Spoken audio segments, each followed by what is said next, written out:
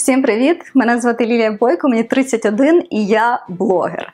Вже 6 років веду свій канал на YouTube, тобто вмію і шукати кадри, і працювати в цьому кадрі, і писати сценарій, і монтувати відео. Такий собі універсальний солдат. Але останнім часом більш активно розвиваю інстаграм. На карантині відкрила свою інсташколу блогермейкер, де через день проводжу ефіри з експертами в різних аспектах блогінгу, тому маю досить великий досвід проведення інтерв'ю.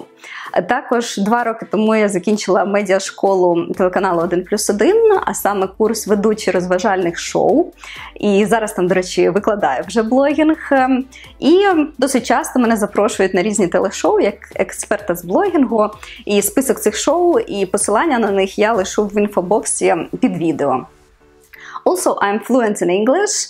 I have 104 out of 120 a TOEFL score, so I have no problem with communication uh, all over the world. Я люблю подорожувати, відвідала більше 20 країн. Ми півроку з сім'єю жили в Америці, зимували в Таїланді, і я дуже е, велика з. Марк, я люблю самостійно планувати подорож, організовувати тур, ем, складати маршрут, по якому потім ми на авто їздимо і ем, досліджуємо такі небанальні місця.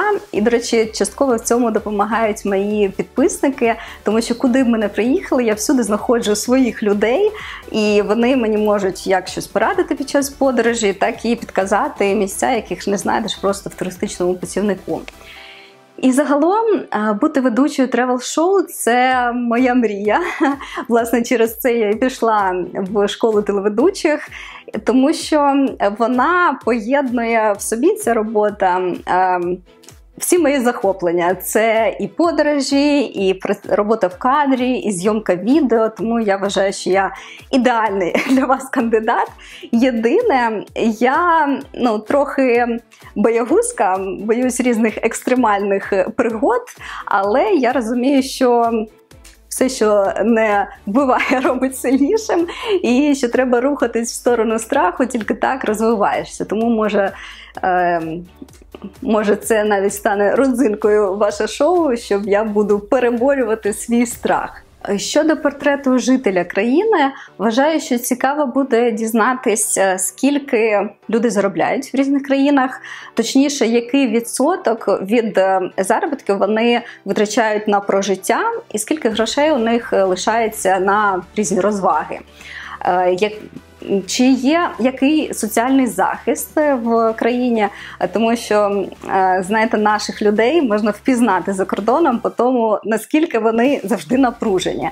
А чим людина відчуває себе більш захищеною, тим вона більш розслаблена. Мені здається, це цікаво. Також як часто люди подорожують як часто можуть собі це дозволити, скільки мов знають, крім своєї рідної, чи мають освіту, яку, тобто вищу чи там середню. От думаю, в принципі, от портрет жителя приблизно з таких критеріїв складається.